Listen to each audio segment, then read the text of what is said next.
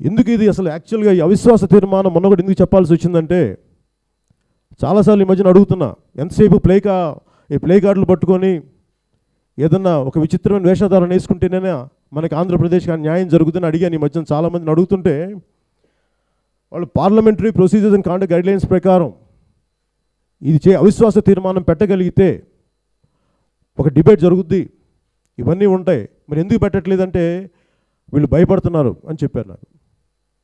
అది నిజంగా భయమా కాదా అని చెప్పి వరుసగా మీరు ఈ మధ్యన వైఎస్ఆర్సీపీ కానీ టీడీపీ కానీ చూస్తుంటే ఇది నాకు అనిపించింది ప్రజలు కూడా అనిపించింది మీరు కేంద్ర ప్రభుత్వానికి భయపడుతున్నారని చెప్పేసి. ఎందుకంటే ప్రధానమంత్రి గారు రాగానే వైఎస్ఆర్సీపీ నాయకులు వాకౌట్ చేయడం అలాగే మిగతా వాళ్ళు టీడీపీ నాయకులు కూర్చోవడం ఇవన్నీ ఏంటంటే సందేహాలకి ప్రజలకి అనుమానాలు దారితీస్తుంది వీటన్నిటిని దృష్టిలో పెట్టుకొని ఇదే ఆఖరి సెషన్ ఇది. తర్వాత ఎలక్షన్స్ వస్తాయి. మళ్ళీ నెక్స్ట్ సెషన్ ఉన్నా కానీ అది వేరే వాటికి కేటాయిస్తారు. బలమైన సెషన్ ఇదే బడ్జెట్ సెషన్ దీంట్లో న్యాయం జరిగిందా? ఆంధ్రప్రదేశ్కి న్యాయం జరిగింది. ఇంక తర్వాత పోయింది. అందుకని కలెక్టివ్గా పోరాటం చేద్దాం. అందుకని ఈ సభ ఈ పత్రికా సమావేశం ముఖంగా నేను కోరు మిమ్మల్ని కో ఈ మీడియా సమావేశం ముఖంగా నేను కోరుకునేది ఏంటంటే మీరు దయచేసి దీన్ని ఇనిషియేట్ చేయండి. మీరు రేపు వెళ్తారా?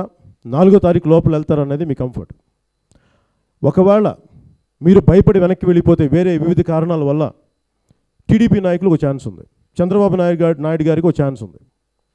వారు కూడా అవిశ్వాస తీర్మానం పెట్టచ్చు. ఇది ప్రజలు చంద్రబాబు నాయుడు గారు పెడతారు ఈ అవిశ్వాస తీర్మానం లేదంటే చిన్న లేదంటే మన జగన్మోహన్ రెడ్డి గారు పెడతారనేది మేము మేము ఎదురు చూస్తున్నాం. వాళ్ళతో పాటు నేను ఎదురు చూస్తున్నాను. అలాగే మీ ఇద్దరికీ అఖిల పక్షంతో పాటు నేను కూడా మీకు అండగా ఉంటాను. నా వంతు నా సహాయం ఏం చేయాలి? ఇవన్నీ చేస్తానని చెప్పి మీకు సభాముఖంగా తెలియజేసుకుంటున్నాను. ఈ పత్రికా సభా ఈ పత్రికా సమావేశం ముఖంగా.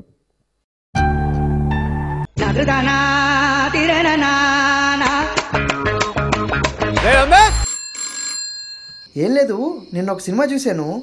అర్జున్ రెడ్డా అది చాలా కాంట్రవర్షియల్ సినిమా అని విన్నాను.